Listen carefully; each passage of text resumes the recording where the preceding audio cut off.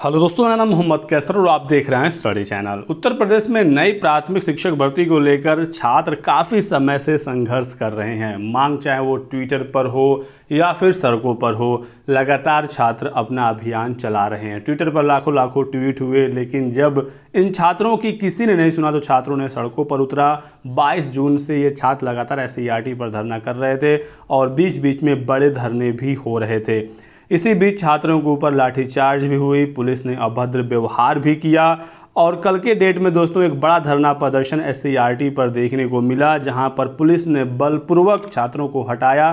कईयों को चोटें भी आई, कई तो बेहोश भी हो गए।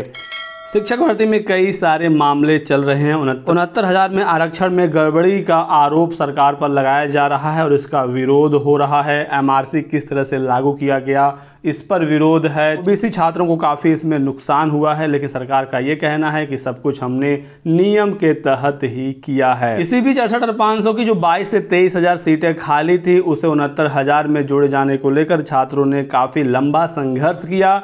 लेकिन इस पर साफ़ साफ़ बेसिक शिक्षा राज्य मंत्री डॉक्टर सतीश चंद द्विवेदी जी ने कह दिया कि पिछली भर्तियों की जो सीटें हैं, वो दूसरी भर्ती में नहीं जोड़ी जा सकती। और यही सेम बात अपर मुख्य सचिव उत्तर प्रदेश ने भी कहा था। तो जो अड़सठ हज़ार पाँच सौ की बाईस, तेईस हज़ार सीटें हैं, वो उनहत्तर हज़ार में नहीं जुड़ने वाली हैं। यही सच्चाई है। बेसिक शिक्षा राज्य मंत्री हों या फिर अधिकारी हों, सबके यही बयान आ रहे हैं। इसी के साथ साथ बेसिक शिक्षा मंत्री ने यह भी कहा कि शिक्षक भर्ती में ठेकेदारों से दूर रहें अभ्यर्थी सरकार को बदनाम करने के लिए कुछ राजनीतिक दलों ने युवाओं से इकट्ठा किया चंदा। यहाँ पर दोस्तों एक राजनीतिक बयान डॉक्टर सतीश चंद द्विवेदी जी ने दिया है और कहीं कहीं ना कहीं जो शिक्षक भर्ती का मामला है वो विपक्ष भी उठा रहा है, चाहे वो आम आदमी पार्टी के संजय सिंह हो या फिर कांग्रेस की प्रियंका गांधी हो। लगातार ये लोग इस पर बात कर रहे हैं, ट्वीट कर रहे हैं।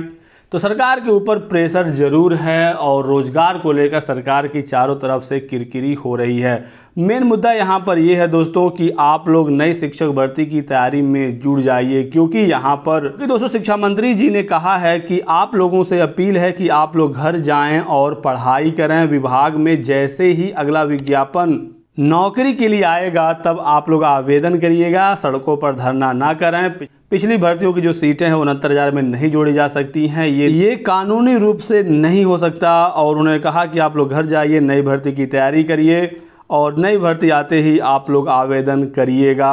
उन्होंने ये भी कहा कि मेरिट के आधार पर निष्पक्ष और पारदर्शी तरीके से नौकरी दी जाएगी। इससे पहले उत्तर प्रदेश के अपर मुख्य सचिव ने भी ये बयान दिया था कि उनहत्तर हज़ार पूरा होते ही वो नई भर्ती की तैयारियों में जुड़ जाएँगे। उनहत्तर हज़ार के थर्ड काउंसलिंग में चयनित अभ्यर्थियों को नियुक्ति तेईस जुलाई को मिल जाएगा। यानी कि दोस्तों, उनहत्तर हज़ार शिक्षक भर्ती अब पूरी तरह से कंप्लीट हो गई। अब वो बचे हुए पदों पर कार्य शुरू कर देंगे और नई भर्ती जल्द देखने को मिलेगी, ऐसा कहना था उत्तर प्रदेश अपर मुख्य सचिव जी का। इन्होंने साफ़ साफ़ अपने इंटरव्यू में कहा था। मैंने इनका वीडियो भी आपको दिखाया था, आप हमारा पिछला वीडियो देख सकते हैं। तो चाहे अधिकारी हो या नेता हो, संकेत मिलने शुरू हो गए हैं नए शिक्षक भर्ती का। अभी कुछ दिन पहले ही कोई भी नई शिक्षक भर्ती को लेकर बयान नहीं दे रहा था, लेकिन सरकार के ऊपर प्रेशर पड़ा है। छात्रों ने काफ़ी मजबूती के साथ अपना मांग रखा है।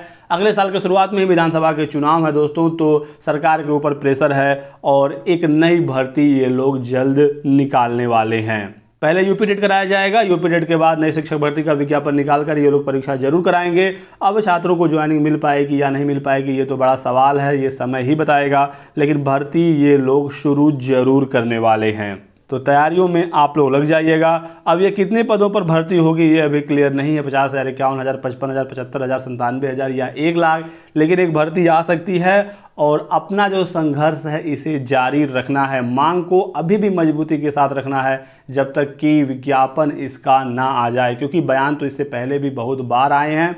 चाहे वो मुख्यमंत्री जी हों, बेसिक शिक्षा मंत्री जी हों, या फिर दूसरे नेतागढ़ हों या अधिकारी हों, बयान आए हैं, आश्वासन मिले हैं, लेकिन हुआ कुछ नहीं है पिछले दो तीन सालों में। इसलिए जब तक नोटिफिकेशन ना आ जाए, किसी भी बात का भरोसा नहीं किया जा सकता है। साथ ही साथ उन्होंने ये भी कहा कि मेरिट के आधार पर भर्ती की जाएगी। यानी कि जो 40 परसेंट प्लस 60 परसेंट वाला फॉर्मूला है ये अभी भी लागू रहेगा।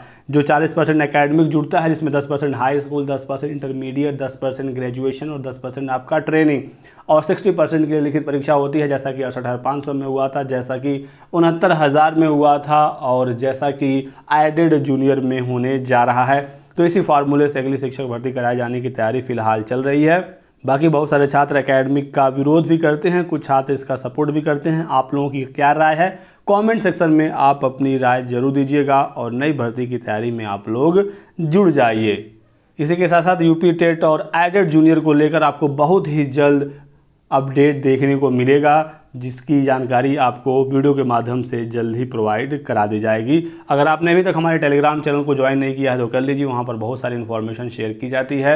लिंक डिस्क्रिप्शन बॉक्स में और पिन कमेंट में दिया गया है। तो इस वीडियो को लाइक और शेयर करने के साथ साथ चैनल को सब्सक्राइब करके बेलाइकन दबा लीजिएगा, ताकि आपको हमारे सभी वीडियोज़ के नोटिफिकेशन मिलते रहें। Thanks for watching